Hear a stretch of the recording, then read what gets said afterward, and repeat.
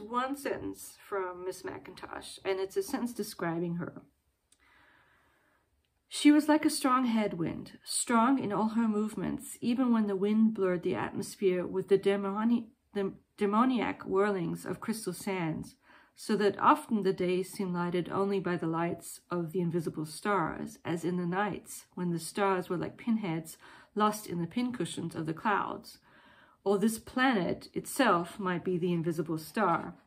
the minuscule particle, the star not visible to others, and she was vigorous and plain of courage, clear in her common sense, no matter if the sky was murky, the winds blowing most heavily where she walked, it would seem, and she liked to walk in the heavy winds, often in the eye of the wind, the teeth of the wind, never amazed by the wind's furies, just keeping her head well covered, yet wading through the waters, coming up to her knees, wading through the long whispers of the many-tongued surf or the salt pools left by the receding tides and still whirling, never protecting herself from the honest elements, the sudden sunlight breaking through the pearl-colored fog, and the blowing surf suddenly splashing as if the wings of birds, and the wind making the far waters glint with reflected lights, or protecting herself only so far as would be necessary, for man had dwelt too far away from nature, and these immediate things, sunlight and surf and wind, and the best tonic she knew was physical exercise,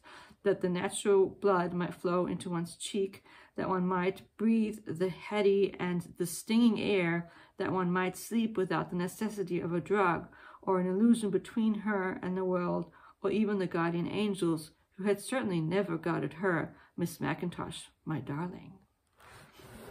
So you can see what we're dealing with here in terms of the, the prose. Uh, yeah, very short addendum to my re reading video for last week. Talk to you soon. Bye-bye.